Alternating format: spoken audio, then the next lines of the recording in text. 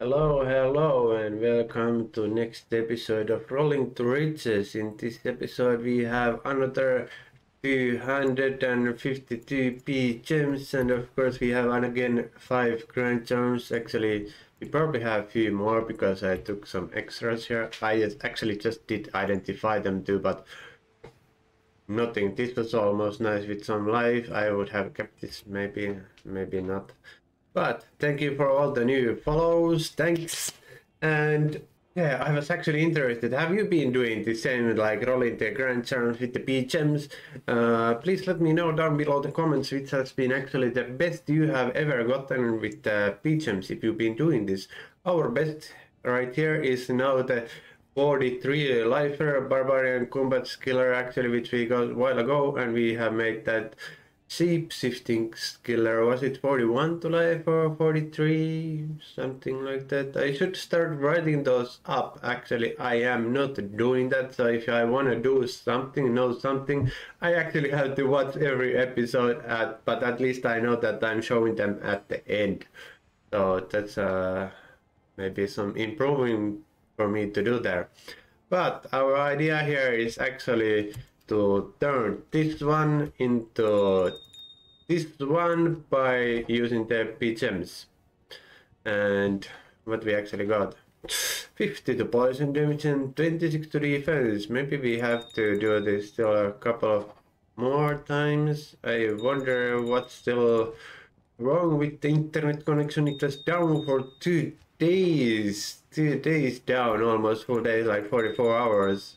Oh damn, it's still a bit laggy, I don't know. Plus one to lightning skills for sorcerers. This is for keeping. Nice start. This wasn't even more, many rolls, this was like six rolls. Next! Next term. 8 max damage and some attack rating, extra gold from monsters. Combat skill for barbarian with 60 strength. We're gonna denied.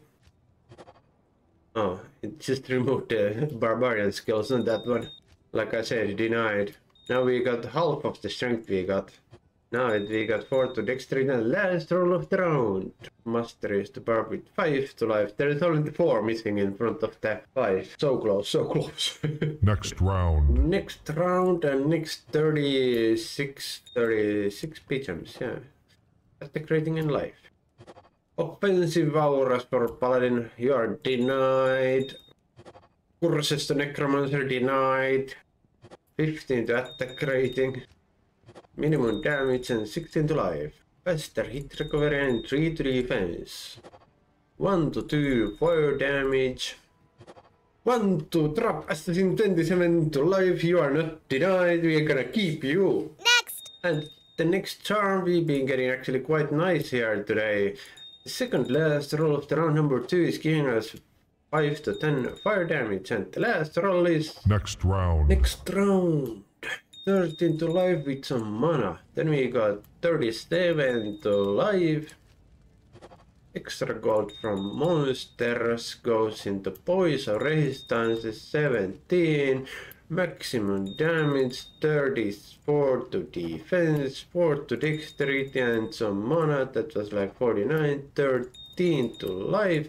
Then we get six, no, 16 to fire damage, no, 16 to defense, 5 to defense. We got 3 more rolls, it's giving us fire resistance. That would be nice terms in the beginning of the ladder season or something like that. Day 1 drop, but then we end up to 7 faster run walk. Next round. And the 7 faster run walk is turning into 34 into extra gold from monsters, 38 to life. Then we have what else? 12 to life. No, not for us. Minimum damage 22, 22, and 1 to 2 cold damage. Oh, faster hit recovery and attack rating. That was quite low level. 9 level, nice. I don't know, would that been using for VLLD, but it's gone already now. 4 to dexterity, like 4 rolls left, 28 to life. 12 to defense only. Then we have 5 to mana and the last roll of this round is giving us passive magic skills 29 to life. Nice, we can actually keep this one. I have no idea does this have any use, but we're gonna keep. Next round. The next round is starting from the stamina 6 to strength and half of the points left anymore. Some attack rating and lightning damage. Then we got 2 to maximum damage.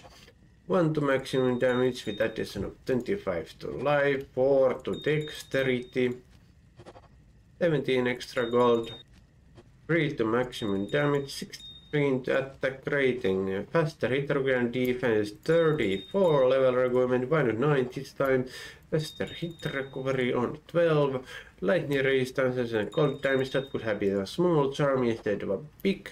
This is also terrible.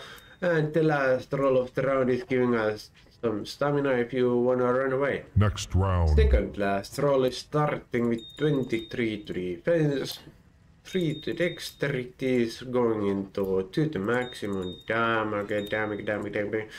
And extra gold again on 22 we want 40 with some maximum damage, nope. Mm, 20 to extra gold. How about doubling that for this one? Cold skills for sorcerers. Plain one sadly, but we're gonna keep this one also. Next. Next term, amazing. We have already made four keepable charms on this episode, and we still have like 40 P gems left.